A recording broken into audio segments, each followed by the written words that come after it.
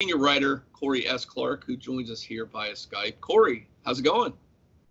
Uh, it's going all right, Gene. Not great. I don't think any of us are doing great, yeah. but I'm I'm getting by. We're all getting by. Doing our doing our best to get through this yeah. uh, tough time. And so we, uh, I asked some people after we did the 91 Michigan game on the boards, and pretty overwhelmingly, the game they wanted us to talk about was, not surprisingly, 1994 Choke and Doak. And that's always, it's a warm heart and a lot of our memories. I know I was there. I assume you were, were you at the game with your dad? Uh, I was at the game with my dad. Indeed, I was. Yeah. Awesome. So in a little bit, we're going to be joined by the one person who probably has the best perspective to talk about that, and that is Danny Kanell, of course, the quarterback that led Florida State to that incredible fourth quarter comeback against the Gators back in 1994. But before we get to Danny, first you and I want to talk a little about kind of lay the lay the groundwork for this game coming in. Of course, Florida State coming off the national championship in 1993. Uh, still ranked top five preseason coming into this game. It lost earlier this season to Miami, a really good Miami team down in uh, South Florida that year. What was kind of your memories of Florida State, you know, kind of at this point going into late in the season of 1994? Uh, you know, I remember they had a uh, what I thought and what was actually a, a very good defense. Um, I wasn't honestly. Uh, I don't know if I was sold on Kanell. I think this was kind, and I don't think I was alone in the fan base. Um, I think a lot of the fans were kind of wondering maybe if Thad Busby would get a shot, if it's Thad Busby's turn to play. He was the hot shot. I think he was a he would have been a freshman then, or a, I think he would have been a freshman. Um, because Kanell just had some moments where he wasn't great, and then you know the Miami game in particular. Remember, he was uh, replaced by uh, Stark. Uh, was it John Stark? I thought it was was it Stork or Stark? Stork, yeah. Maybe I'm getting confused with Ron Stark. Yeah, John Stork um, was the backup, and, and, Danny didn't play well in the Miami game. I mean, that was a really serious defense, and yeah. um, and so he got replaced in that game, and that didn't go any better for Stork either, um, or Stark, whatever we're going to call him. And um, and so I remember, obviously, Warrick Dunn was great. Rock Preston was really good, and then after that, you didn't know what you had on offense. Um, you still, then, you still had Kez. Kez was a solid receiver. Yeah, yeah. So you, Kez was the guy. Um, Kez was the guy at receiver. He was really good. So yeah, you're right. Kez was an All-American that year, uh, or close to it anyway. He was really good. The other guys like uh, what Andre Cooper was young. E.G. Green was young. They were really good players, but they were young.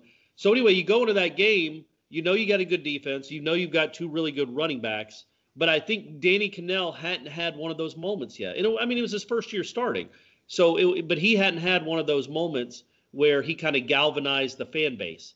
And then all of a sudden, so he'd already lost to Miami down in Miami, and then this year he's down 31 to three to the other rival at home and there are plenty of people. Not that it was Kanell's fault necessarily, but there were plenty of people that were uh, maybe hoping to see number 12, Thad Busby, come to the game in that series when it was 31 to three. He did not, and then thankfully because Kanell caught fire, and the rest is history. Did you? I wonder back then. It, it, I don't remember having conversations with Bowden. I uh, may have, or you may have, if you remember. Was it was Bowden ever close? Did he talk about how close he was to pulling Kanell for Busby in that game? I don't know that he ever talked about it, but I remember specifically the only reason my dad and I stayed when it after when it was 31 to 3 late in the third late in the fourth quarter, the only reason we stayed our third quarter was to see Busby play. We wanted to see what he looked like against Florida. I mean, we knew the game was over. Everybody knew the game was over. We just wanted to see if Busby made made, made some uh, nice throws that got you excited about next year. And then all of a sudden, that first drive, it was the last drive of the third quarter that that went into the fourth quarter. It started in the third quarter and then trickled over to the fourth quarter. I think Zach Crockett scored. All right, let's not let's not get ahead of ourselves here. No, I know, but I'm saying well, once that happened, you're like, okay, well, they can't put him in now. And then after that, Kanell just kept completing yeah. passes and scoring touchdowns. I'll say one thing looking back at that. I remember that Miami game and and I went back and I tortured myself. We'll talk about it a little bit to go back and watch the first three quarters of the choke and Doak, which I don't know if I've seen since I saw it live because like why would you want to watch that? But right. just how how much the offensive line struggled. I mean, Miami's defensive line completely dominated Florida State in that yeah. game down to Miami. Now they had a great defensive line. I don't know if that was the Warren Sapp team or whatever they had back then. Was Warren Sapp yeah. 90 Miami? Yeah, Warren. So yeah, I mean they, they just were completely out of hand. Same thing with this, Ray and Lewis. I want to ask. I'm going to ask Danny about this because he took a beating in this game. I mean, it's amazing how many times he stood in the pocket and just got pummeled in this game. So, I mean, I really think the offensive line struggled a bit. And I think that's part of it. You mentioned they had enough skill talent, pretty good defense, but I think the line was about a year away from getting a little bit better. And then let's flip it a little bit to the other side. Let's talk about Florida that year. Florida came in at 94 preseason number one. They had everybody back, and a few weeks earlier, why they lost their number one rankings because they had another Bowden go down to Gainesville and win that game, and that was Terry Bowden, last minute comeback, beating uh, beating the Florida Gators down there. Yeah, that was Patrick Nix was the quarterback. Yeah, uh, that was a that was a great, great, great game. Um, that was a really great game by Auburn. And I, you know, midway through that season, Terry Dean was a Heisman candidate. He was the starting quarterback for them to start the season. He was the Heisman candidate, and then he had one bad game. Spurrier yanked him for Wuerffel, and then Wuerffel started the rest of the year. Um, so it, they had, you know, they were really, really talented. Jevon Kearse was on that team, I believe. I mean, they, you know, it was a Florida team in the mid '90s, man. They had a bunch of NFL dudes, just like Florida State did. Florida State had Derrick Brooks. Miami had Warren Sapp and Ray Lewis. I mean, it was the glorious time in the state of Florida for college football. So yeah, Florida was very good. And I remember specifically, this was years ago when I rewatched the game, when they scored their their last touchdown to go up 31 to three. I remember Musburger making the case to pollsters, like, "Hey guys, does this yeah, not look did. like the best team in the country to you? I know they lost, but how is Florida not going to get to play for the national championship? They look un- unbelievable." And then obviously the next 28 points happened. But yeah, so that was where it was. Was uh, was Florida was, you, you know, they'd lost the one game. It kind of felt fluky. It wasn't. Auburn earned the win, but it just seemed a little fluky and then they go they lose a heartbreaker and then they come into tallahassee and they're up 31 to 3 their fans are celebrating in the stands and you're like man florida might just be the best team in the country and then it was an utter utter collapse and they might have had they went and you're right i remember when when i went back and watched this by the end of the third quarter you're right musburger is railing for florida and, and for a good point if you come into a team like this a top 10 florida state team in their home stadium and blow them out and you're currently ranked number four that should push you up in the polls. And if you go that, remember that year was Nebraska, Miami yeah. in the Orange Bowl, I think playing for it all. But I got to think of one lost Florida team that would end the season beating Florida State big. Probably would have been in that matchup against Miami. I'm, I'm sorry, against Nebraska instead of Miami. Don't you think they would have jumped Miami, who's also a one loss team in the polls that year? Yeah, I think if Florida if Florida had gone into Tallahassee and, and finished off that game 38 to 3 or 38 to 10, yeah, I don't know how they would stay below Miami and then all of a sudden, you, so you have Penn State out west. Mm-hmm. The problem is Penn State was undefeated too. So well, you split. That'd be a split title. If they beat if they beat Florida State, blow them out, and beat my and beat Nebraska at the end of the year, there's no way they're not giving at least a piece of the title, Florida, that year. Yeah, maybe. I mean, you, you probably not, but you know, we it was so weird back then with with the yeah. way they did national championships. Who knows? Like if Penn State win, Penn State won that Rose Bowl to go undefeated. The reason they didn't win any share of the national championships because Nebraska was undefeated. Now, if a one-loss team had beaten Nebraska then who knows? But yeah, yeah so Florida was still in the running um, until you know, like I said, until Zach Crockett scored that touchdown, and then off they went. Uh, but you very good team. I think it's the ultimate Spurrier visor. I don't even know if he actually threw the visor in that game, but the shots of him in this fourth quarter is worth. Just go and watch it. The shots of him coming unglued, uh, not believing what he was seeing um, in that in that fourth quarter, and just the look on his face of utter disgust is worth it just to go just spend 20 minutes going and watching that fourth quarter just for that alone. He did. I went back and watched that. He he took the visor off, was about to throw it once, and caught himself. He did not oh, actually good. hit the ground. Um, but yeah, you're right. There's several views of him sitting there, basically, you know, kneeling down.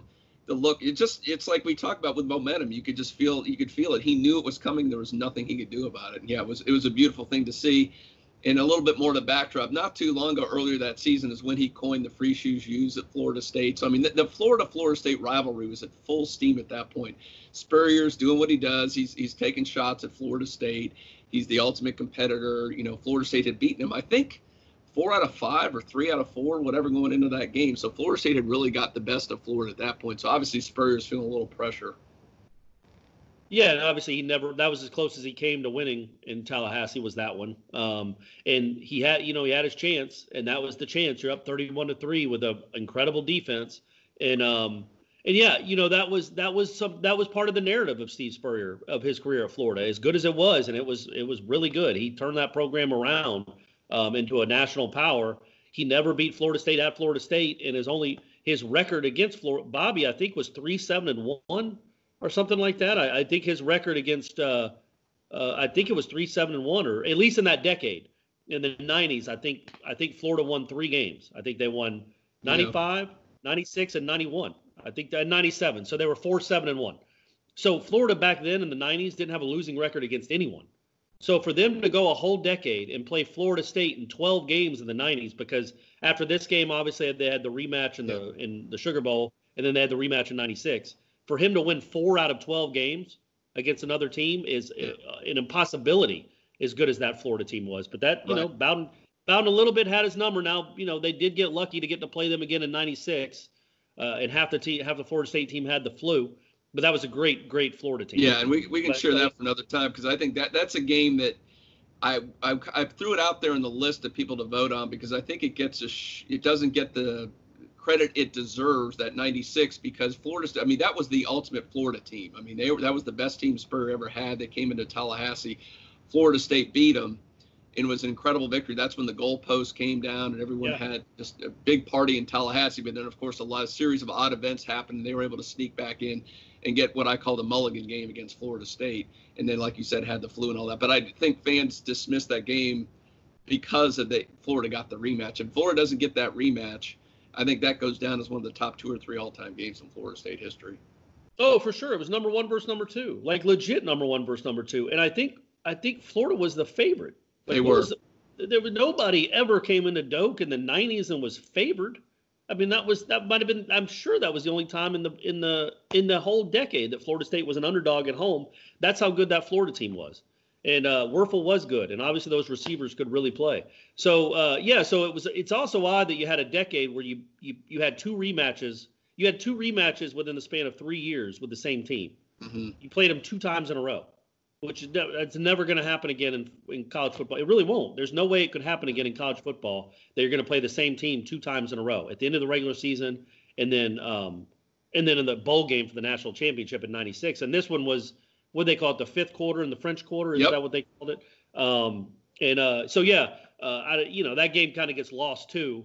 That Florida State actually went on and actually beat them a month later because this game is an all-timer. This game was a college football history. This game is uh, is one that Florida State fans will always remember. The one the one problem I always have, Gene, and it's kind of over your shoulder, and I mentioned it earlier about that Florida collapsed, is it became the choke and Doak, which I get. It's funny to poke fun at Florida, but Florida State also went and played really well. You know what I mean? It wasn't like Florida just kept throwing pick sixes, um, like uh, LSU did to Auburn. I think maybe that same year where LSU had a big lead at Auburn at, at Auburn and then just threw like th- just kept throwing interceptions.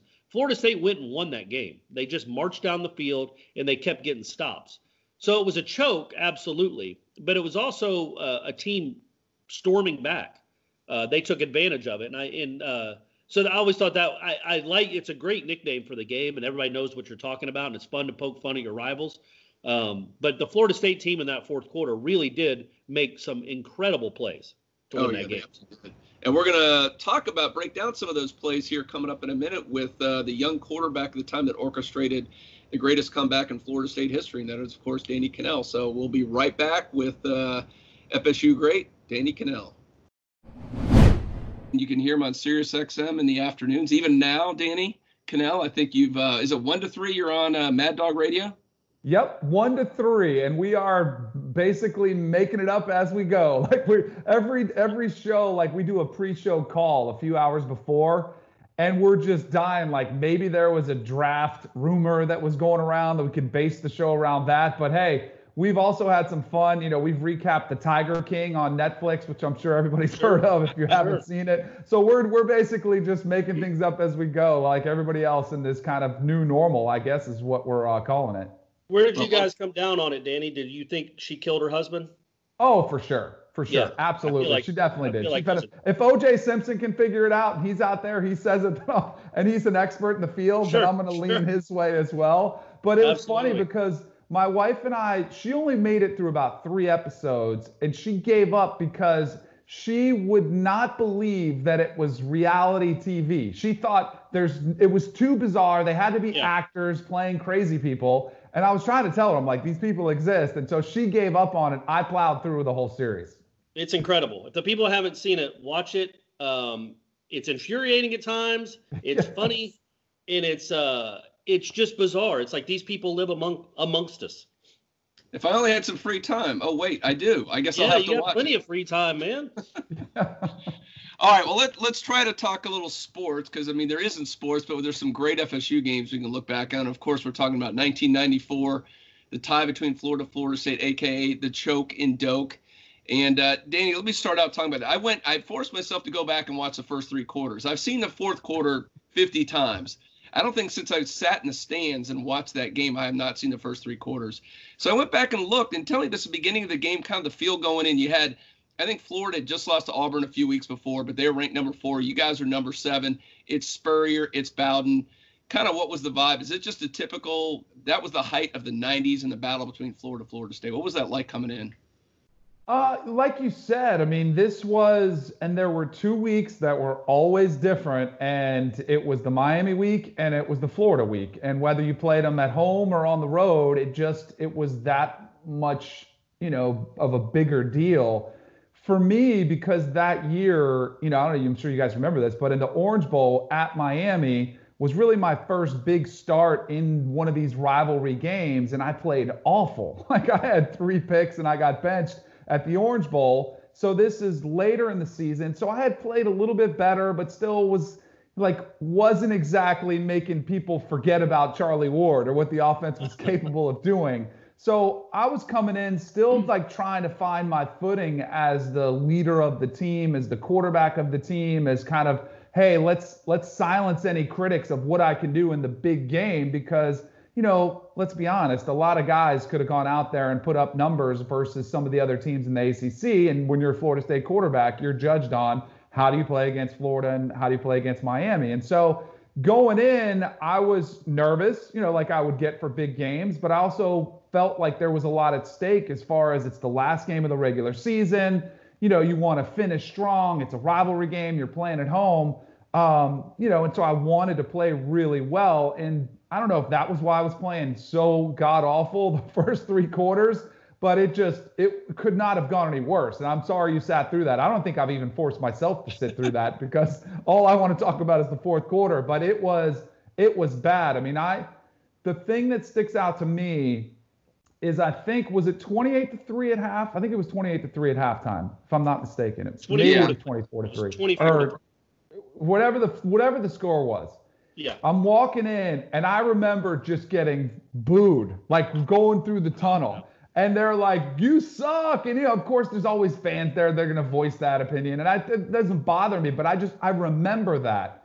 And I remember thinking, this sucks. Like, this is awful. And then in the locker room, I remember seeing Mark Richt huddle up with Bobby Bowden, and they were having a conversation and, you know, going about the game plan on kind of what was unfolding. And I came to find out later, like that was the conversation that was deciding do we stay with Danny or do we go with Thad Busby to start the second half? After they have this meeting, Mark Richt comes over. He goes, We're not going to bench you. We're going to, but he's like, But we need to play better or you're going to be. And I was like, Oh, crap. Like, here we go. Um, but thankfully, they let me kind of ride out the storm. In the third quarter, we did see some positive play, a little bit better, but it wasn't like we were putting up a lot of points. Um, but it was enough to kind of just barely hang on to the job. And then, you know, once we got to the fourth quarter, the rest is history. I told the story already, Danny, but I was in the stands with my dad. I was, uh, what would I have been, 19 at the time. And the only reason we stayed was to see what Thad Busby would do in the fourth quarter. you know what I mean? And I think there were some fans there, and I wasn't one of the ones booing you. I just he was the he was the freshman you're you're thinking, okay, well, this guy was uh, really hyped coming out of coming out of high school. I'm sure he's going to get some mop up duty here in the fourth quarter. Let's just see how he does. And that's the only reason we were excited to stay. Do you feel in the moment? You know, you you had you had the unenviable task of replacing the most popular player in Florida State history, like literally the guy that won the Heisman, the guy that won a national championship.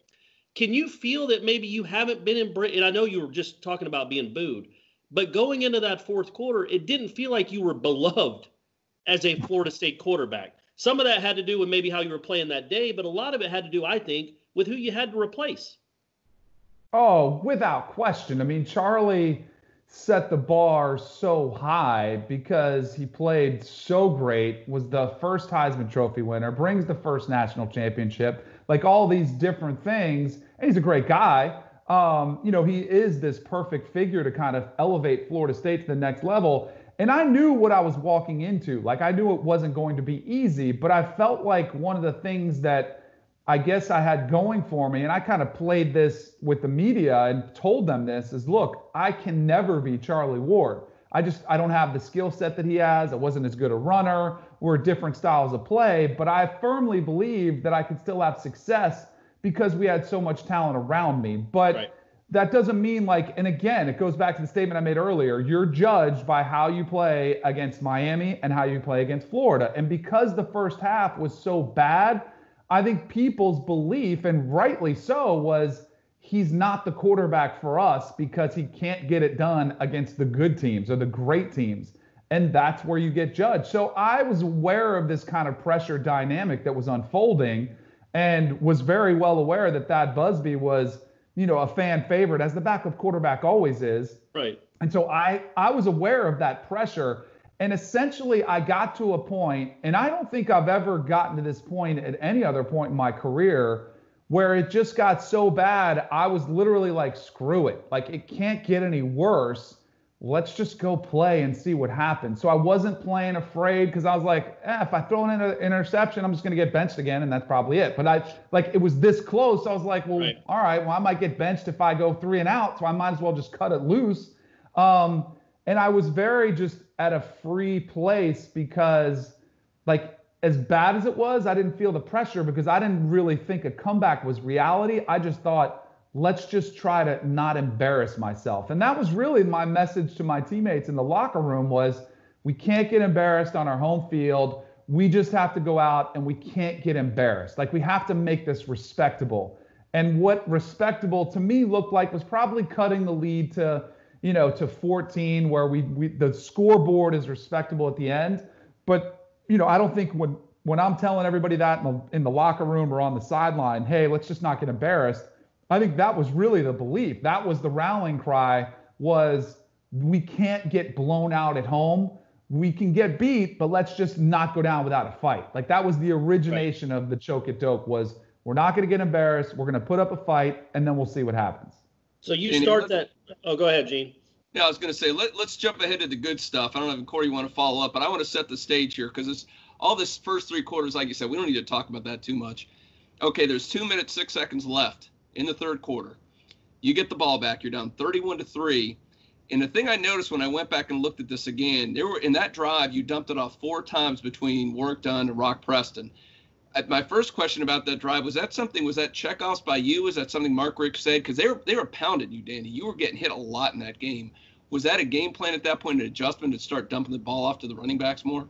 No, so I would say, and Mark Richt's one of the best. You know, like he was awesome for me throughout my career, and I don't want to make it sound like I'm, you know, not not taking a knock at him, but explaining the offense was that was just the progression was, you know, and we ran a shallow cross series, which is kind of what we, it was what we called it, it was the shallow cross series, and it would, the basically the very simplest proje- um, progression was there was a shallow crosser, and I would hit him if he was open. There was a curl behind it, and I would hit him if he was open. And if neither of them were open, I would hit the swing on the outside. And now on the other side, there was an option to possibly throw a little hot route or a fade route, which I actually hit later to a couple guys.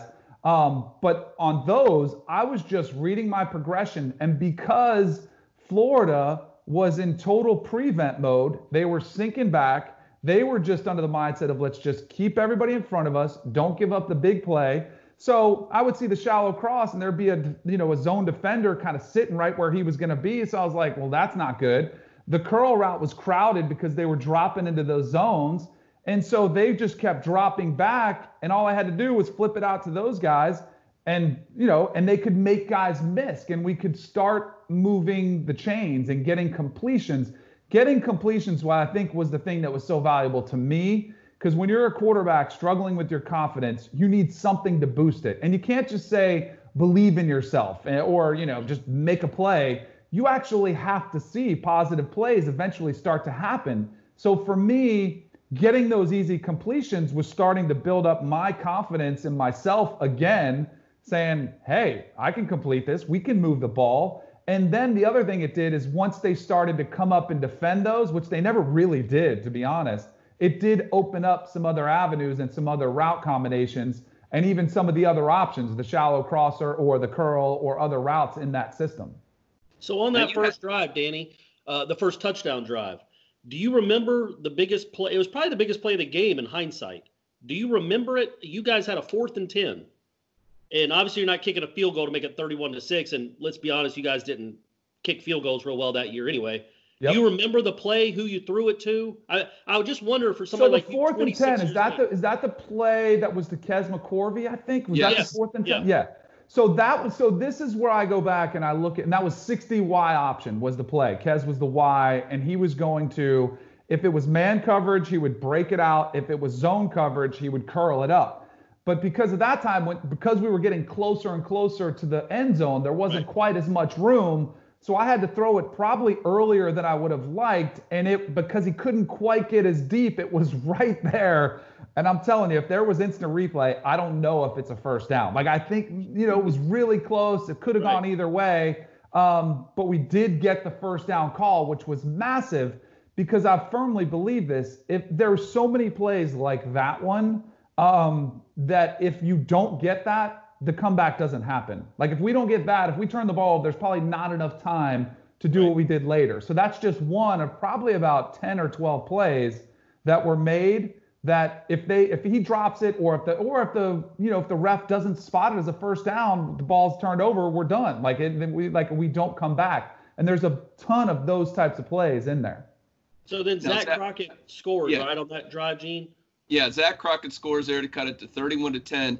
Now the next series is unbelievable to me. There's 10:37 left. By the, the way, game. remember yeah. remember that play for later. I'll just give you a little teaser. Okay. That was 30 trap. Okay, remember that play for All later. Right. All right. 10:37 left in the game. You guys are down 31 to 10. You put together a three-play drive in 33 seconds for a touchdown. You hit Kez 35 yards, Warrick Dunn, another drop off in for 20 yards, and then you hit Andre Cooper in the end zone. I mean, that's against a team that's playing prevent. That's crazy in three plays in 33 seconds. And again, like I would put this drive itself as the most critical one because of how quick it was, because it was three plays. We had the little play action pass where Kez kind of was coming over across. We had the, the play to Warrick Dunn, which I think was when I threw that to him and saw what he did on the sideline, it was very reminiscent of the play he made in 93 in Gainesville when he was juking defenders on the sideline, and that one he took to the house. So it was very similar to me when I'm watching that unfold. I'm like, this guy's awesome, which everybody knows Warrick Dunn was. And then we had a we had a play call, and we called it smoke uh, at the time, and that was the the touchdown pass to Andre Cooper. And we had several of these built in where I would just yell, I would start yelling as soon as Warrick Dunn goes out of bounds. I'm starting to yell smoke, smoke, smoke and everybody goes like even faster than no huddle, line up at the line of scrimmage, and we run this this sprint right, you know, kind of play where Kez is there and he's or excuse me, um, Andre Cooper is going to run this little kind of like you know 10 yard comeback to the uh, to the like right at the goalpost, and then there's going to be a corner route behind him, and we usually I would say probably if we ran smoke, we probably, I don't know, it was probably 50 50. I wouldn't say, but we did like to hit the corner route behind it if there was more room, but it was a little bit tight. And if you watch the video, the official is like trying to, because he was kind of out of place and he's trying to get out of the way of the play so he can officiate.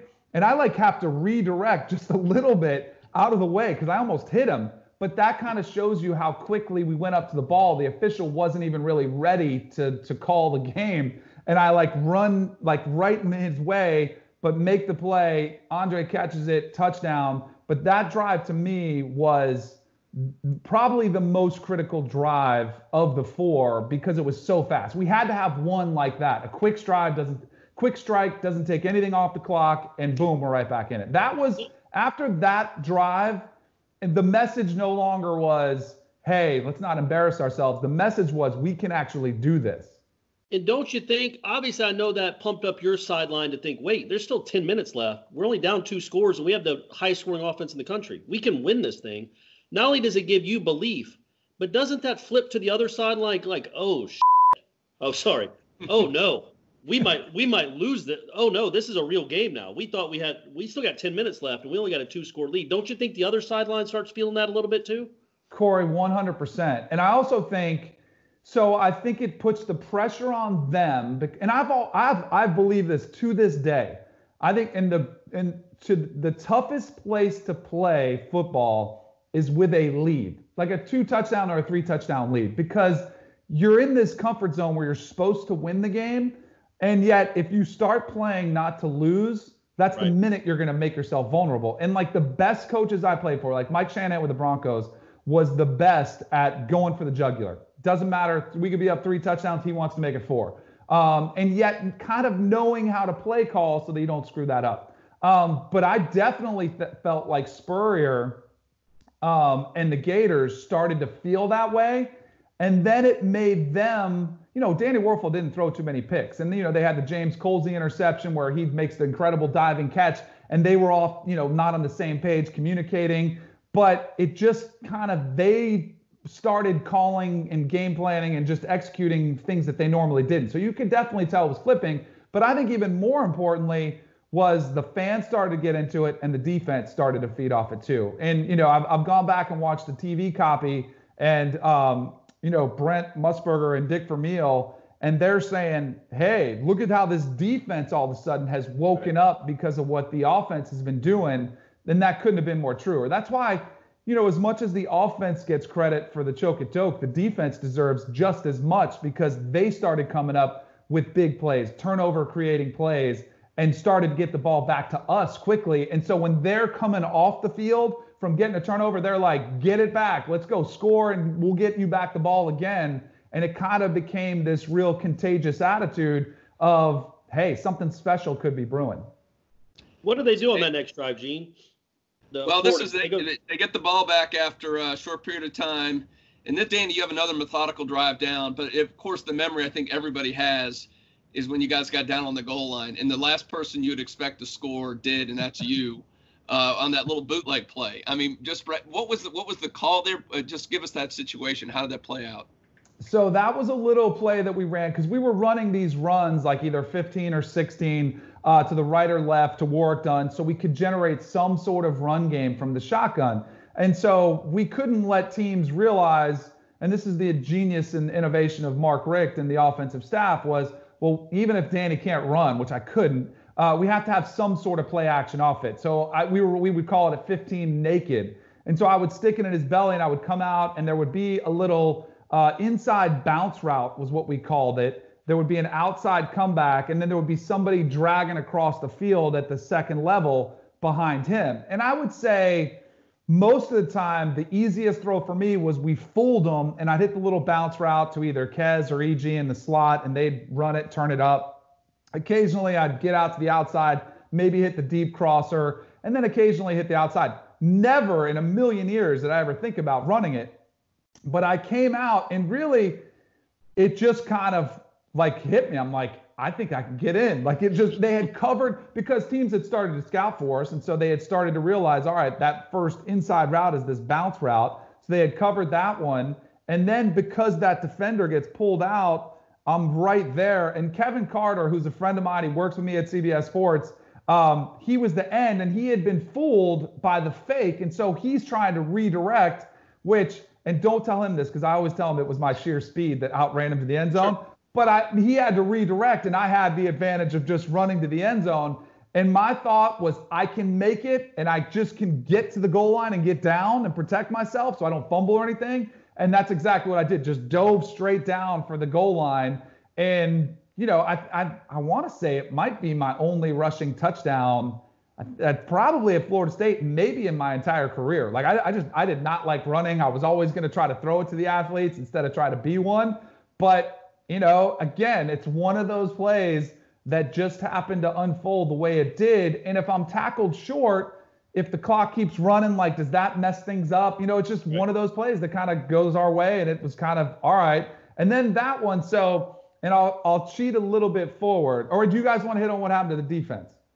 Yeah, we can do the defense, but also okay. did that have anything to do with Zack Crockett? That play it did. so up? it did. So when I that's what I was gonna get to. So when I came over to the sideline, and every time, like, because uh, I would talk on the headset to Mark Richt, who was upstairs, and Coach Bowden would come over and kind of just check on me and say good job. And then I get more into the X and O's and kind of what we're going to do on the next drive. So I go over to the headset on this one and we're down seven. And Coach Richt is like, all right, when we score, he's like, we're going to go for two. And this was, you know, Ooh. so because so he tells me on my headset. So I'm like, yeah, I'm like, no question. I'm like, definitely. I'm like, and he's like, we're going to run 30 trap if we score. We're, that's going to be our two point play. That was the play that Zack Crockett had run in for the first touchdown of the game. So I was pumped, and I, I didn't even tell anybody because they don't need to know. But I, right. but it's and so go to the defense. and We'll come back to that. okay, yeah. So um, they get the ball back. I think they get a first down. It might have been their only they first do, down of yeah. the quarter. They get a first down. I think maybe they hit Doering for a first down. And then they throw it again because Spur, I think Spurrier understands we can't run the clock out on these guys. They're gonna, they're swarming us right now. We're not running on them. We've got to make plays with Danny. And then Colzie makes, I think he had a big interception the year before in the swamp too. He he loved playing the Gators, but he has a great. It might have been the best catch of the day was Colzie's over the shoulder diving interception. So talk about so he gets the interception. I think it's around the 30, your own 30, 25. What are when you're going to the hut? I mean, you guys didn't huddle necessarily, so right. I don't know if you're giving a big rah rah speech to the offensive linemen when they go on the field. But what is your mindset personally when you see that interception? I don't know if you're standing on the sideline or if you're sitting on the bench. If you when you see that interception, and then as you drop, trot onto the field, what's going through your head as the quarterback? So we didn't really, you know, like you said, we weren't huddling, but the time we would get together as an offense was over on the sideline which was usually on a, on a turnover like that, you know, because we're all going nuts, giving Colzie high fives, what a great play. But then, like, as we're getting focused on what we're going to do the next drive, we're kind of over there. We're talking with Jeff Bowden, who was the receivers coach, and Coach Bowden is right there, and Mark Richt is talking to them through the headset. And I'm telling you, to a man, we all knew we were going to score. Like at that point, like it wasn't about respect. It was we've got them on our on their heels we we can do this. Everything we were calling was working. So at that point, it was let's just go finish. Like let's go do this.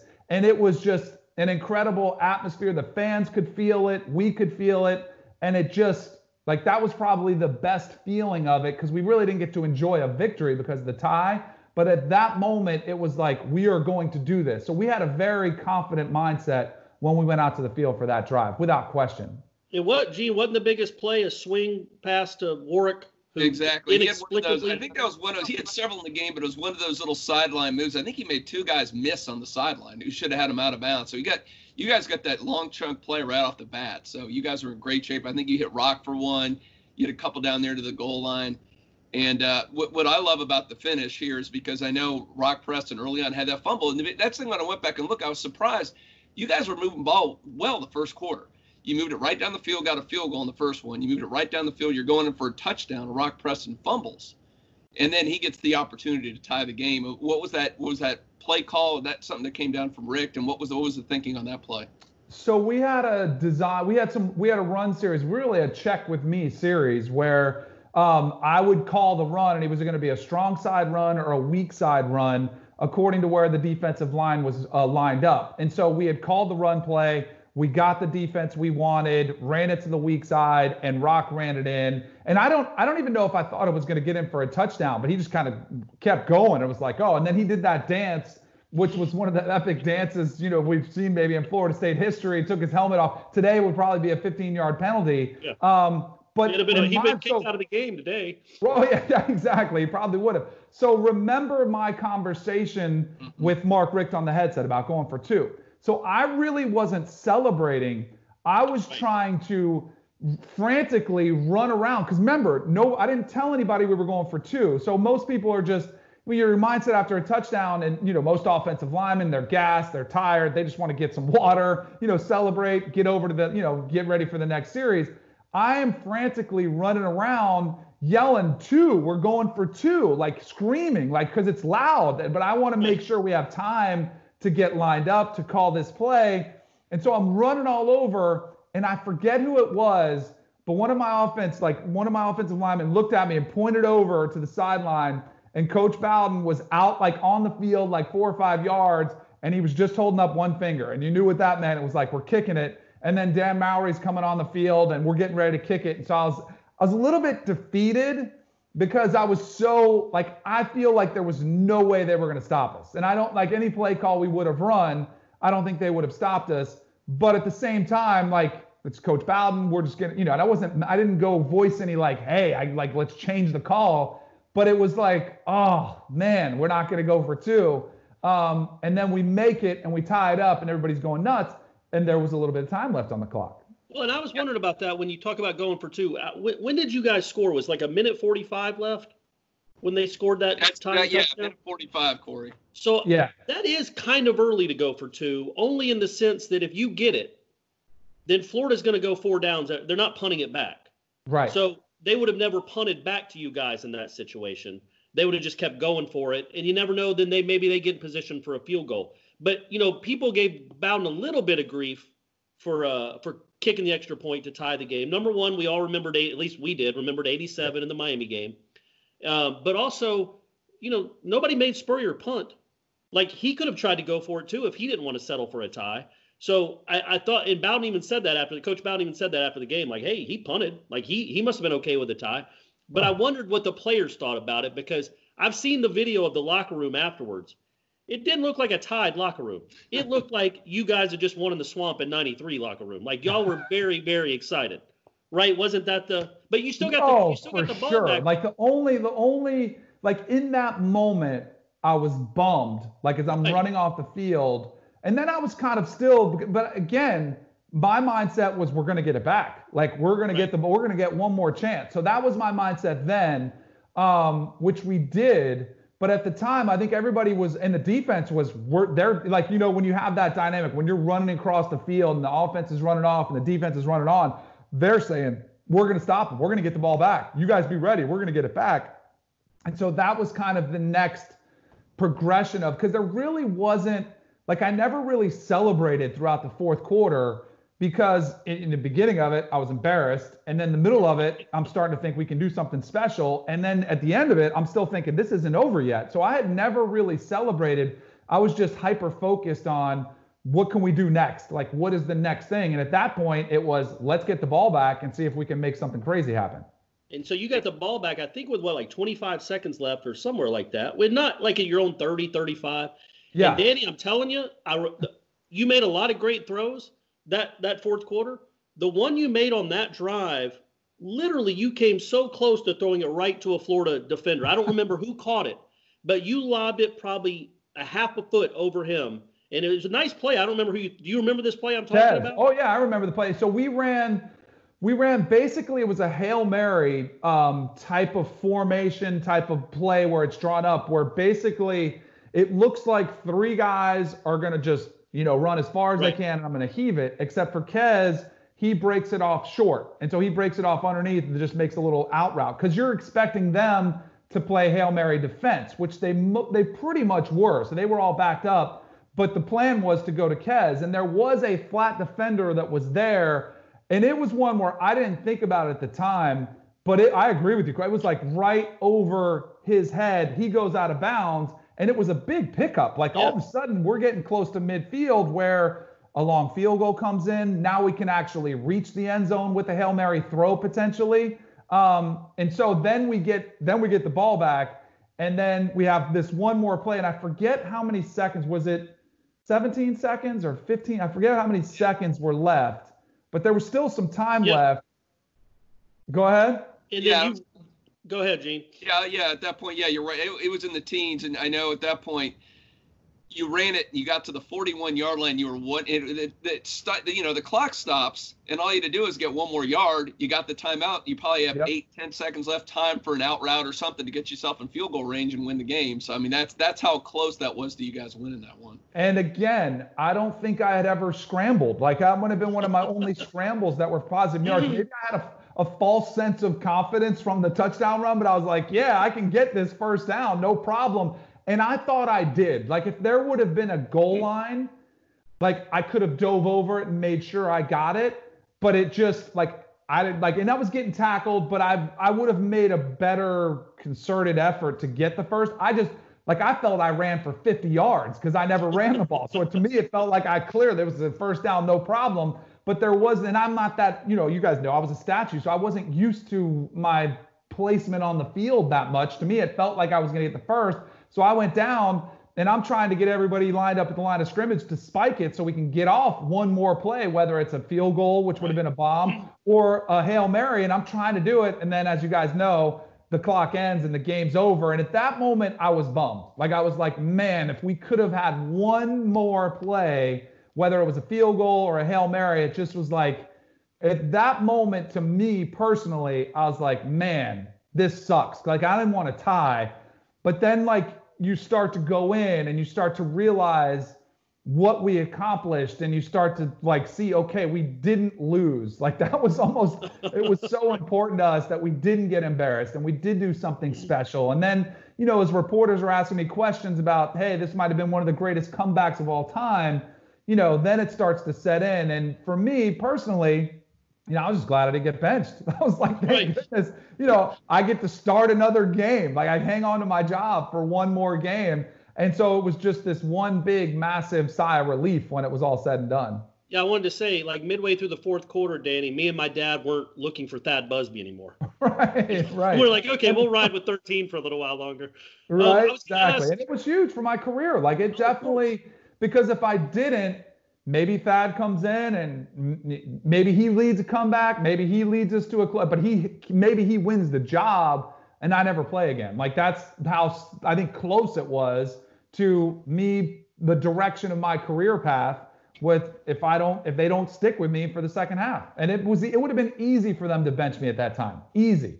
Because everybody would have been, yeah, it just isn't working out. Let's right. give that a shot. Like it would have been. And. I was going to ask real quick. He scored the game-tying touchdown. People all know about Warrick Dunn, and they all know about you. They all know about Kez, Derrick Brooks, Derrick Alexander, Corey Ford. There's a ton of big names from that team. Rock Preston. There's a lot of people watching this that probably don't know the name or haven't seen a lot of his highlights. How good was that dude? Because I contend he is one of the best. I, I, he's the best backup running back in the history of college, but he was unbelievable. I mean, he was. I think he's probably one of the most underrated history yeah. uh, players in the history of Florida State football for what he meant to the program. Uh, and him and I would say, and this is not a knock against Warrick Dunn. This is more of a praise for Rock Preston. I think the coaches viewed it as, you know, it's a 1A, 1B type of situation where there wasn't going to be much drop off. They were pretty much interchangeable. Now, clearly, Warrick was the guy, he was the bulk of the ball carrier.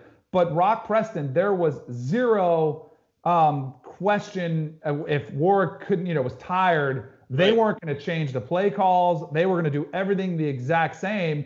And if Rock goes to a different university, you know, who knows how his career could have ended up? Because I don't think he got a fair shake when it was all said and done at the next level. And probably it was because he didn't get enough, you know, ball carries to showcase what he could truly do. But trust me, we all knew what he would, what he meant to. And he was also a guy who was really a locker room favorite because, and you guys know Warrick. Warrick is one of my favorite teammates I've ever played with, but he's out of the same cloth as Charlie Ward, which is very quiet, very soft spoken. And Rock is joking around, like uh, lovable, you know, uh, energetic. Like he's kind of the opposite. So from that standpoint, he was one of the favorites in the locker room as well. Everybody loved Rock, and he's awesome. Now, I've ran into him a few years ago in South Florida, I ran into him and he's doing great. I saw him and he's again like he's one of my favorite teammates too, just for the the type of guy he was and what he brought. I think he's totally underappreciated. Well, and it says a lot about him, right? That he was on the field for the game tying touchdown. They had 28 Absolutely. on the sideline, feeling perfectly okay. Now, I think if Warrick Dunn scores the game tying touchdown, he probably doesn't take off his helmet and do the dance. right. No, I don't think so either. I don't think so either. It wouldn't have been that memory. Danny, you've got now you've got 25 plus years to look back at this now. And you said at the time you were upset, went for one. You guys got the tie, even though you guys sell. Obviously, the players celebrated, the fans were nuts with it. I remember there was uh, somebody asked Spurrier after the game what it felt like to lose a tie, and right. then you guys got the opportunity then to go in the Sugar Bowl and play them again which was dubbed the fifth quarter and the French quarter. So a lot of fans, at least, felt like you guys beat the Gators twice that year. And now looking back in hindsight, now I know you're confident you would have gotten that two pointer and beaten them. But at this point, are you still, if you could go back in time, would you have gone for two points at this point? Um, you, hindsight is 2020. It looks great. I I would have gone for it just because I felt there was no way they were going to stop us. Like it was that much confidence. But in Coach Bowden's wisdom, he was able to see the bigger picture. And there are two favorite moments of mine that are very subtle um, from the game. One is when you watch the game clock when I'm when I'm trying to spike the ball and the clock goes to zero and the, the refs are like the game is over, it's a tie. If you watch the TV copy, there's a Gator helmet that goes like whoop, like it just like somebody chucks it and it's like a 40 yard chuck. Like somebody had an awesome arm, but it's one of the Florida Gator defenders. That's one of my favorite things because that should show you all you need to know. Like the Gator defender is so pissed he chucks his helmet like 30 yards, and you can just see it like across the bottom of the screen. I don't even know who it was.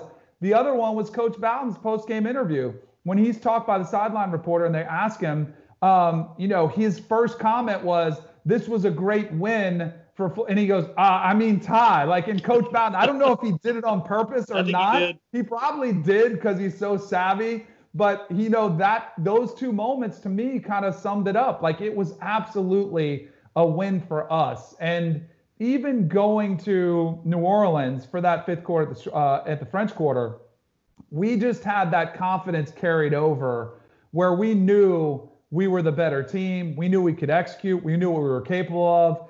And they were a team that probably wasn't thrilled about having to face us again, right? Like so that and then I don't know if you guys remember this. They had a fight at their team meeting, yeah. like another player took a butter knife to guy. Oh, when we heard that news, we were like, "Oh, this thing is done. It's a wrap. There's no chance they're going to beat us."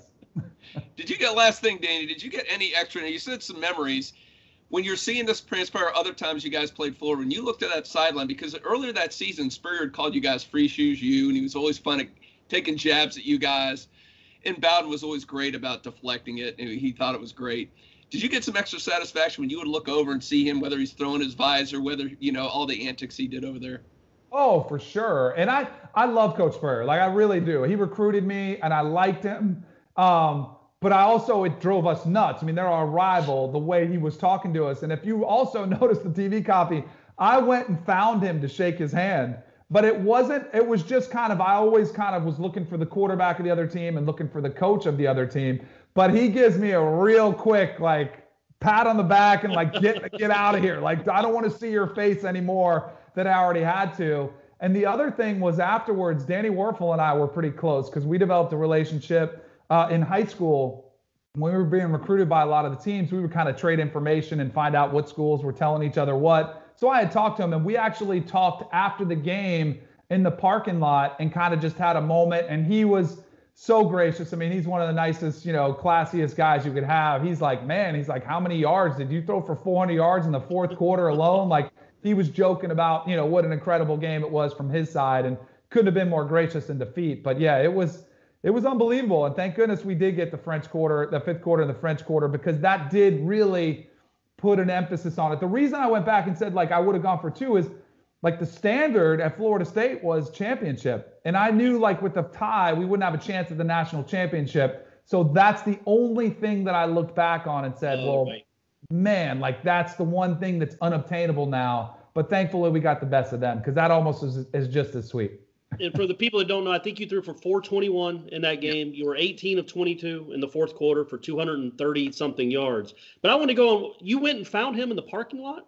Is that something? No, he found me. Like you kind of where they came out, where I was, because I would come out and I would kind of sneak out a back door just so I didn't have to like deal with a lot of the you know autograph stuff. My family kind of knew where to meet me, and it was closer to where the visitors came out at the time. And so I kind of saw him as he was going on to his, you know, the buses they were getting ready to leave okay. the Gainesville. And so we just had a quick minute. Uh, I, but again, like couldn't have been more gracious.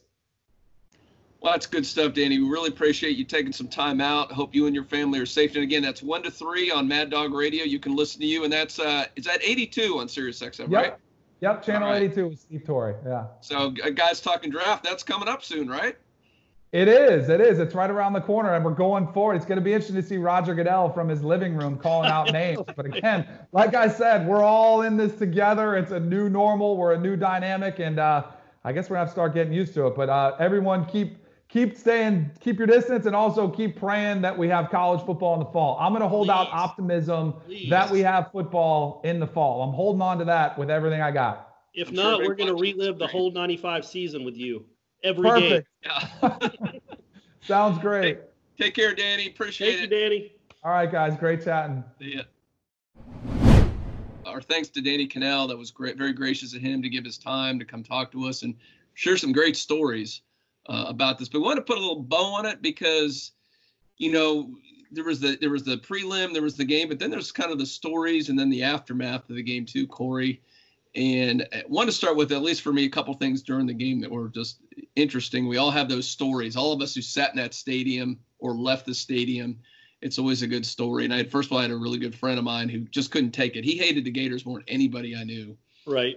It was absolutely tearing him up to see this happen in front of him, and he just he right, you know, I think it was right when that drive was starting and late in the third quarter, he'd had enough.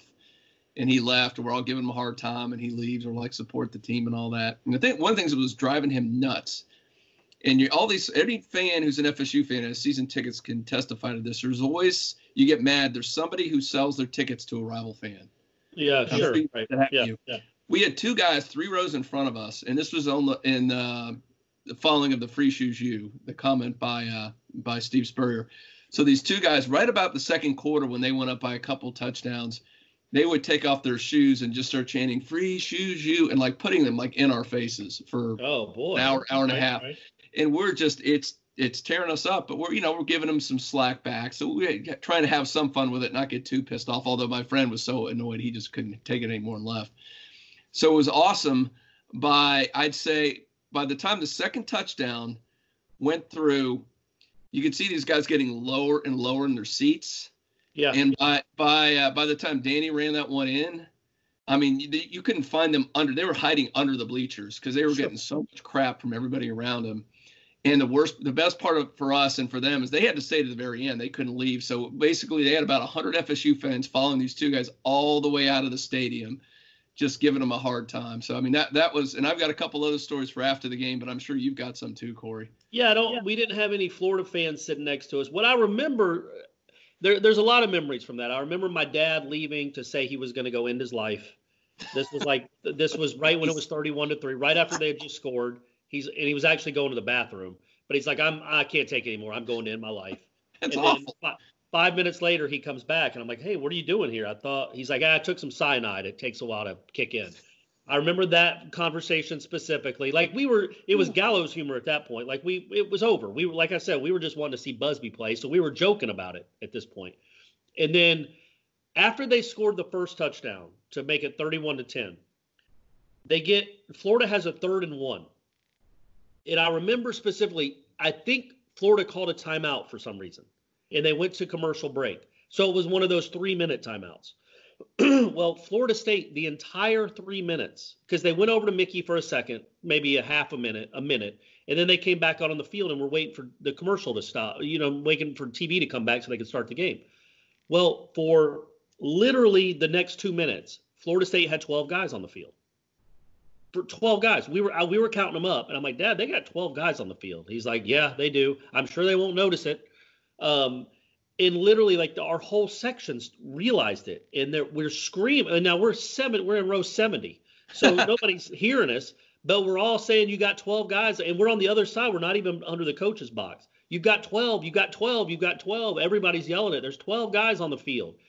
And finally, right when Florida breaks the huddle, somebody realizes it and somebody scrambles off. And then I think I think Zack Crockett scored the touchdown. I think Henri Crockett makes the tackle. Yeah on that third and one play to get the ball right back. So imagine if they hadn't noticed they had 12 guys on the field and Florida gets an automatic first oh, down. Man. You're running at least three more plays. You're running another minute and a half off the clock. You might just go down and end the game. But they they I just remember so vividly everybody in our section yelling about 12 men on the field. And finally, right before the play, a guy scrambled off and they end up getting the stop and then from then, obviously, they scored 21 points right after that. That's good because I never. I guess going back and looking, I guess you wouldn't because their TV was at a time. It was TV, yeah. So you wouldn't have seen it. But I'm telling you, the whole time during the TV timeout, they had 12 dudes on the field, and oh. nobody noticed it. You would have thought one of the players would have been like, "Man, it seems like there's one extra guy out here," but no, nobody noticed it until right before, uh, right as Florida was going to the um, ball. One last thing on the game that was in, and we talked about it with Danny a little bit that was uh, interesting is you know the whole decision to go for two or not for two. And there because there, there, was there was a minute 45 left. Florida had a couple timeouts left. So yeah. typical spur you think he's going for it, right? Go back and look at that series. You know what he does? He runs the ball. He doesn't call timeouts. Spurrier knew that he wasn't going to win the game. Yeah. He knew and he knew the worst thing he could do is do what he probably would have happened if he would have passed it. Gone three and out. They have enough time to go back and they score and they lose the game. So he just he all people gave Bobby crap about not going for two. There was plenty of time. If Spurrier plays his normal mode, there's plenty of time for his team to win or Florida State's team to win. But he went. He just basically accepted the tie and still almost lost because you know Danny yeah. was one yard short of stopping that clock and having a chance to win that game. So I mean, I want I want to throw that out there too because I don't think a lot of people realize that Spurrier completely went in the shell in that last series, which is very much against his personality. The last story I have that one of my favorites, being a I guess before I was media, I was a fan back at the time was coming back. So we're we're glorious chanting back. And I, I don't know if you remember, they I I noticed when I saw the replay, they flashed this stat up during the uh, it was early in the game that Spurrier was one and four against the Bowdens. Yeah. And yeah. that was because they had just lost to Terry Bowden in Gainesville a month earlier. And uh, so this would have been one, four, and one after this. And I think he had lost. To, I think they lost to them uh, the year before that too. Did they? I think up at Auburn, but it wasn't it televised because Auburn was on probation, so it wasn't televised. But I think Florida lost up there too. Okay, so yeah, they did that. So we get back. The good thing is my buddy who fled goes. Buddy had an apartment. A friend of ours had an apartment right next to basically near Burt Reynolds over there. So a lot of people were parking over there. So we got to go up, and he was second floor, had a deck, had a keg out there. So we're just doing beer funnels, having a great old time. We started the chant, "You can't." Every time a Florida fan would come by, we chant, "You can't beat about," and right. And I'll never forget this one dude who's got the. I mean, he's got orange and blue from head to his shoes were Gator, everything was Gator coming up, and we're chanting that, and this guy comes running like below us in the parking lot, screaming up every f bomb you could think of, everything else. Kept screaming, "Why are you so effing happy? It was only a tie." And I remember my best friend replies back, Well, if that's the case, why are you so mad? and this guy just screamed. He had like a he had something in his hand. I don't know, it was a something. He threw it down and broke it and just ran away. Oh, was, good. Running, yeah. we're chanting still. You still can't beat about it. yeah, that, sure. that was that was a fun story. Yeah, and that was uh, you know, the narrative back then, man, as crazy as it was. So Spurrier got there in '90. He got housed by Bowden in '90 in Tallahassee. He did beat him in 91, but that was a heartbroken team that had yeah. just lost to Miami on a wide right, and they still almost beat them with half, literally half their offensive line not playing. Um, they still almost beat them in 91. 92, they control, they beat them pretty good again. Mm-hmm. 93, they beat them uh, at the Swamp. Uh, can they they controlled that game, but it got close late. Yeah, that was scary. We, we may put that on our list, Corey. That yeah, be... that definitely needs to be one. And then this game, so Florida fans had to be like, what, what we, so this guy's good. And they knew Spurrier was really good, but he cannot beat this guy. He cannot beat this team. Is that where we're at now? Even with a 31 to three lead. And that was the narrative that never really changed, honestly. I mean, the, the only, the only real issue for Florida, I mean, I know the 95 game, I, I just think Florida was better in 95. Yeah. Um, but 96, like we talked about, Florida State got unlucky to having to, having to play them again. But really, 95 and 97 were the only real times Spurrier beat Bowden in the regular season when it was mano a mano, like strength versus strength, uh, full team versus full team. It was 95 and 97, and even 97, I thought Florida State gave that one. That's the one I think. I know the super, the Sugar Bowl, the national championship game, probably hurts the most, but that was just a fl- that was just a fluke that you had to play him again. You shouldn't yeah. have had to play him again. It was ridiculous. But the 97 game is the one that kept Florida State from winning a national title. That's the one that Spurrier got over Bowden. All the other ones was Bowden, do, uh, in my opinion anyway, it was Bowden doing it to Spurrier. And even the 95 one, when Spurrier finally wins, um, after after tying this game and then losing in the Sugar Bowl a month later, they go and get embarrassed by Nebraska. Mm-hmm. So he was kind of the little, he was the stepbrother. He was the little brother. Florida was the little brother to Florida State for that entire decade and that's like being that's that sounds like an insult. I guess it was, but it's like being the little Bosa. Like Florida was still great. Yeah. You know, the, the, whoever the young I don't know, I get their names confused. Nick and Joey, I don't know which one's older. They're both awesome. They're both really good. One's a little bit better than the other one. One's a little brother. Florida State was a was you know they they dominated that that decade. They were eight three and one. And, and it's funny you said the little brother comment because you got to remember that the people that are maybe not, not a little bit older uh, uh, aren't as old as us, and even I don't know how much. I'm sure your dad really remembers this. Florida, Florida State was really until kind of that run. Now they they'd had a few wins over Florida here and there, but really honestly until about '87, they were the redheaded stepchild. They were the little brother. They were the one who could. Florida yeah. was always the university. You know, just the arrogance that went from there. They were the bigger. They had a, a lot more success in Florida State, at least consistently over that long period. So like you said, for them to have because they had a couple down years in the late 80s, but now they've got their coach, they're beating everybody, and they still at that point can beat. So I think that's why had the example like I gave, some of their fans were getting so frustrated. They go, "This sure. is the best team we've had and maybe ever," yeah. and we still we get we spot them. They spot us 28 points, and we still can't beat them. Yeah, and so when you go from 87 to 2000, they played uh, 16 times over the course of that because of the two bowl games. So out of 16 games, Florida won four of them. Yeah. That that that puts it into perspective of where that now they they did win one for a national championship. You can't take that away. But still, through a 16 game stretch, they won four games. Florida was beating everybody in the SEC by 30 points, but Florida State was the was you know stuck in their crawl. It was there they they in that game in particular would have been like it's just never going to happen. Yeah, and you know it really honestly shouldn't have happened if Nebraska could have taken care of Texas in the if they would have just had not a Big 12 championship game. If they just that was the first year. And John uh it's not John Malkovich. I can't remember the the Texas coach's name.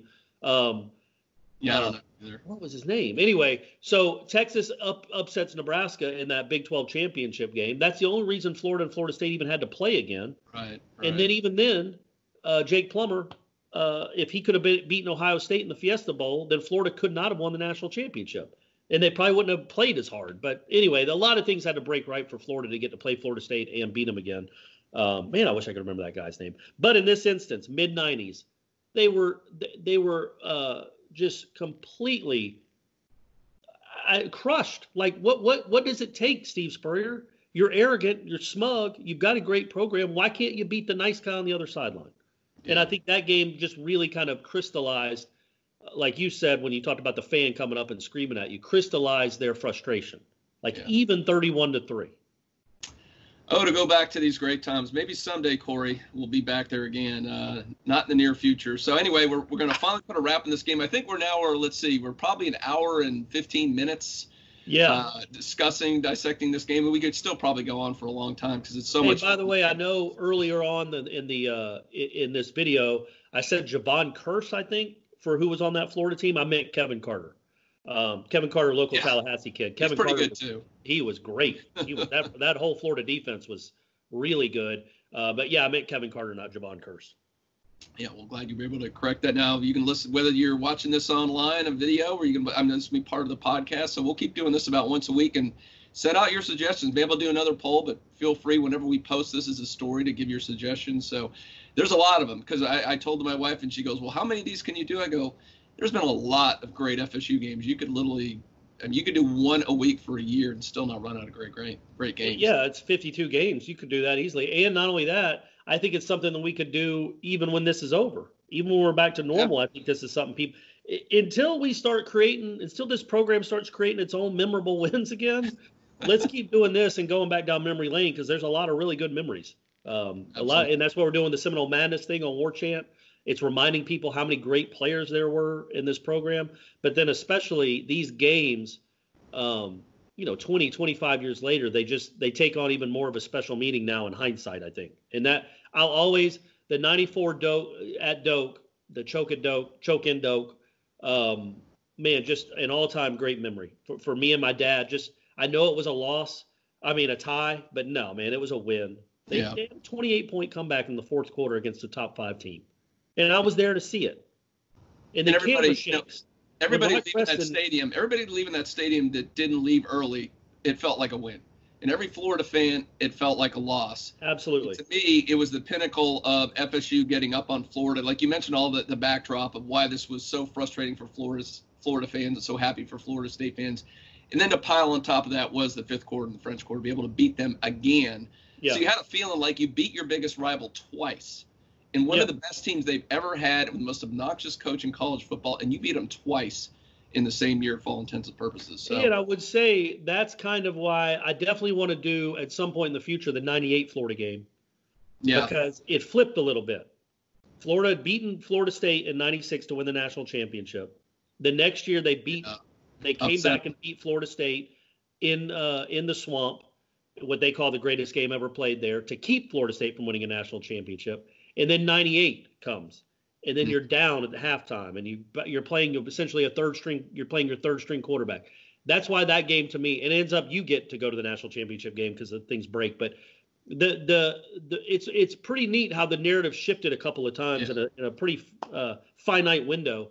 In that '98 game, I tell you, that's about as loud as game as I can ever remember from start to finish in that building. But I was also saying when Rock Preston scores that touchdown in this game in 94, if you watch the replay, the camera shakes. It oh, was oh, yeah, incredibly yeah. loud. And it was incredibly loud from like 10 minutes on. From 10 minutes to the zero, that's that might be the loudest sustained 10 minutes in Doak Campbell Stadium history because people were starting to believe in it. And then it started happening. And the, the louder the crowd got, the better the team played, and it just fed off each other until we saw history. So that was uh, that was really cool. It's a really cool trip down memory lane, Gene that's Corey's nomination for the next one. I'm gonna, if you're going to do that, we can't do keep doing Florida games. I would give my nomination to be. I don't know if you were at that one, the, the '89 Miami game. Yeah, but no, and I, I, wasn't I wasn't saying that should be our next one, but I do think we should do yeah. the '98 Florida at some right, point. Got, yeah, the '89 Miami, Miami game. games in there too. But yeah, oh, to me, yeah. to me, to me, that was the loudest game from beginning to end. Yeah. I've never been to at Doak. And that was the old, I mean, you had the small little wooden bleachers. It was all that. Yep. I mean, that place the entire time was electric. So anyway, yeah, we go on and on talking about this. Let's save it for the actual things again. We're probably on hour and a half now. Cut it short. Thank you, Corey S. Clark. Keep up your great work on Warchant. Good night, folks. Take care. We'll see you soon.